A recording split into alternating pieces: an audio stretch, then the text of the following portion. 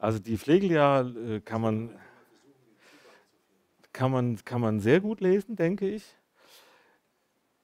Es ist eine Schwierigkeit bei dem Jean-Paul. Er hat einen relativ vertragten Satzbau, der etwas anders ist als unser heutiger. Und wenn man still liest,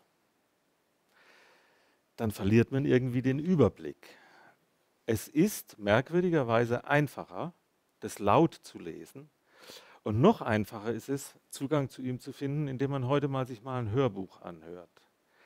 Da wird man nämlich dann diesen merkwürdigen Witz, den der Mann hat, merken. Und es, ist, es gibt ja Autoren, deren Witz ist gewissermaßen angekündigter Natur.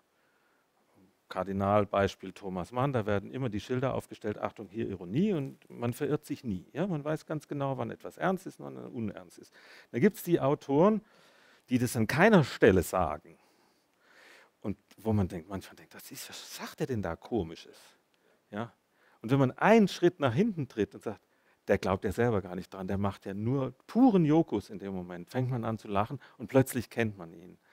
Und das diese Arbeit nehmen einem unter Umständen gute Schauspieler erst einmal ab, dann lernt man ihn kennen, hat plötzlich den Ton im Ohr und kann dann selber äh, dieser Spur auch folgen. Es gibt also ein, ein vollkommenes Ineinander von realer Welt und fiktiver Welt. Und am schönsten ist das bei dem Roman Die Pflegeljahre. Das muss ich kurz erzählen. Falls Sie mal Lust haben, Jean-Paul zu lesen, da können Sie wirklich gut anfangen. Da wird am Anfang ein Testament einer vermögenden Person eröffnet in einer mittleren Stadt. Und sieben Honoratioren, die weitläufig mit dem Erblasser verwandt gewesen sind, haben sich Hoffnungen gemacht auf das Erbe.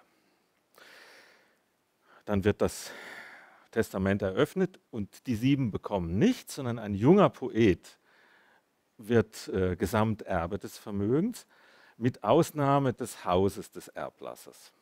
Und das bekommt der, derjenige der sieben Leute, der als erster in der Lage ist, auf den Verblichenen eine Träne zu weinen. Nun sind die ja gerade eben enterbt worden und sind also außerordentlich zornig über, über das, was da geschehen ist. Und dann schildert Jean-Paul auf etwa drei Seiten die psychologischen Tricks, wie die sich dazu bringen, zu bringen versuchen, eine Träne zu weinen. Der eine fängt an zu lachen in der Hoffnung, dass da die Tränen kommen der, der andere drückt in sich rum und es ist also hoch, hochkurios. Und wer gewinnt natürlich? Der Berufsstand, der, ja, der eigentlich dazu da ist, Rührung zu erzeugen, wenn auch falsche, der Pfarrer. Der kann als erster dann tatsächlich weinen. Und zwar indem er sich seine eigene Situation als armer Morgenprediger vor Augen fühlt. Also der schafft es dann durch Selbstmitleid, als erster zu weinen.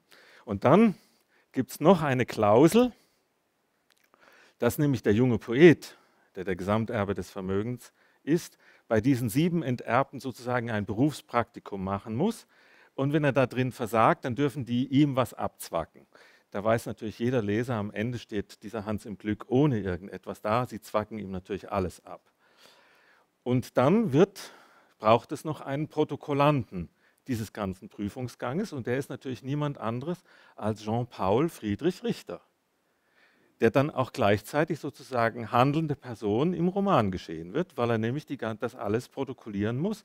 Und er muss dann immer wieder an den Stadtrat schreiben, die sieben äh, Prüfenden gelangen dann auch an ihn. Und es ist ein, ein vollkommenes Ineinander von Metaposition und, und handelnder Geschichte. Aber das ist natürlich der große Vorteil, dass Jean-Paul sich immer spiegelt und sich von oben angucken kann, von unten ab angucken kann. Und er sagt, ich bin immer alles, ich bin der Regisseur, ich bin der Schauspieler, ich bin das Publikum, alles gleichzeitig. Und äh, diese Fähigkeit, glaube ich auch, hat ihn davor bewahrt, eben äh, schnelle opportunistische Kompromisse in seinem Leben zu machen.